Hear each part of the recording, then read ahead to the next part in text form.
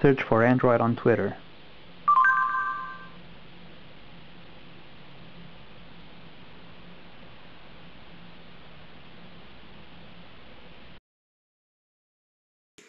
Okay, let me show you how I did this. Start by creating an AutoVoice profile. Check event behavior. In the command filter, we're going to create two custom variables. One is named query, and the other is named app. The final command filter should be search for query on app.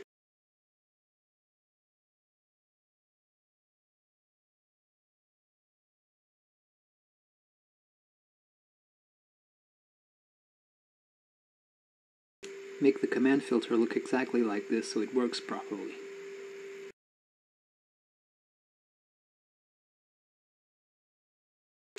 Then create a new task with an AutoLaunch query action. We're going to find apps that contain the name spoken in the AutoVoice command. Fill in the app nickname field so both app nicknames and names are searched. Also check the contains all checkbox so it's easier to match the spoken command.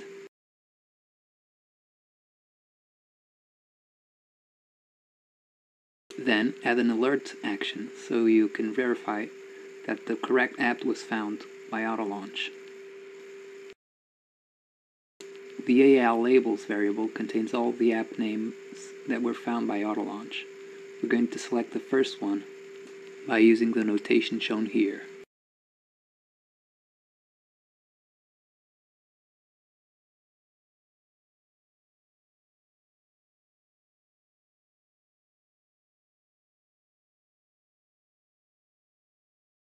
Then add an AutoShare action where you're going to select the search action and where you're going to use the AL packages variable and also the query variable.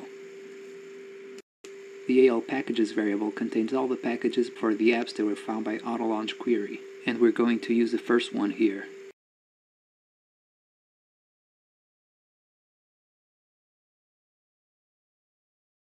The query variable contains what you actually want to search for.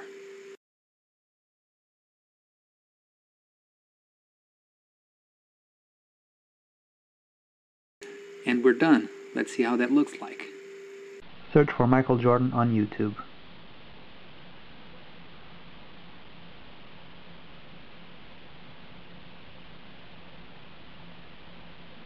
Search for Jim Carrey on IMDb.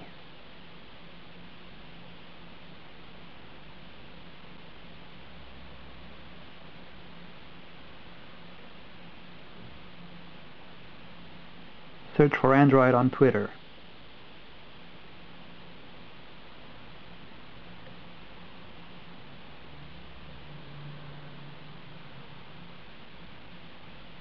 Search for Foo Fighters on Google Music.